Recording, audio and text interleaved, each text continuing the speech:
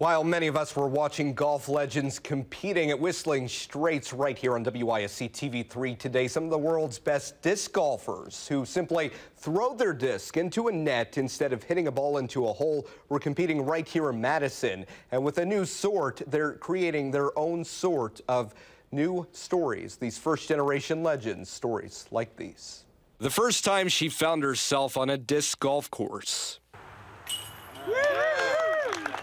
Sarah Hokum never really expected to be all that good. It was uh, really just a whirlwind of events. But after almost nine years of disc events, she found herself competing at the World Championships in Pittsburgh last weekend.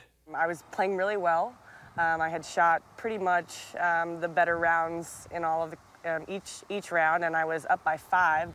But as she headed into the fifth round, and all of a sudden I just get whammed, an airbag goes off. A rush hour drive would change everything.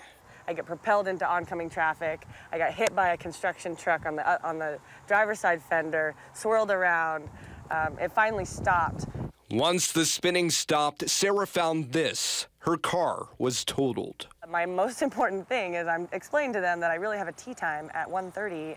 Panic quickly turned to relief as Sarah found a ride. But when she showed up a little late to her tee time, her teammates could hardly believe what they saw.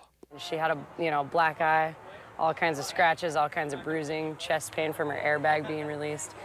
Tour rules gave Sarah a penalty for the two holes she missed, but she fought back to make the final round. And I ended up um, getting second by one stroke. Um, so it was uh, disappointing. I think, you know, uh, things may have been different if I hadn't gotten that accident, but um, I learned a lot through it. She's looking good, though, right? Despite the crash, meaning Sarah has that black eye, as you saw, bruised ribs, and whiplash, she still managed, we think, a congratulations in order to come in second place today.